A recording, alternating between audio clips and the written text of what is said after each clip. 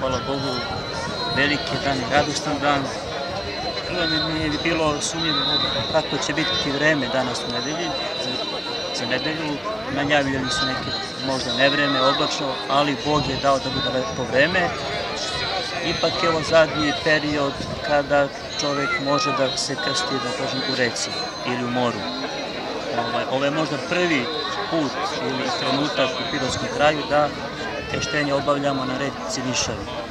Napravili smo tu neku platformu, zahvaljujući i pre svega raznim firmama i, i i lokalnim vlastima, a ovaj, ono što bi mogao da kažem, to je lep broj da se prijavi, oko 130-140 ljudi, duša koja se kreštava, uzima novi oblik, novo ime, što kaže, novog anđela dobija, svetlog, koji će čoveka voditi i rukovoditi u sedam dane života njegova.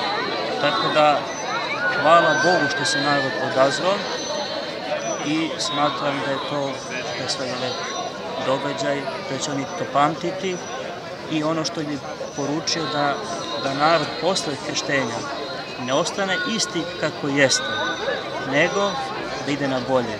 Da polako, polako podržava zapovesti Božije, da polako odlazi u hramove, prati liturgiju, ispoveda se, pričešćuje, da prosto bude, jer krštenjem postajemo članovi crkve, deo zajednice Božje.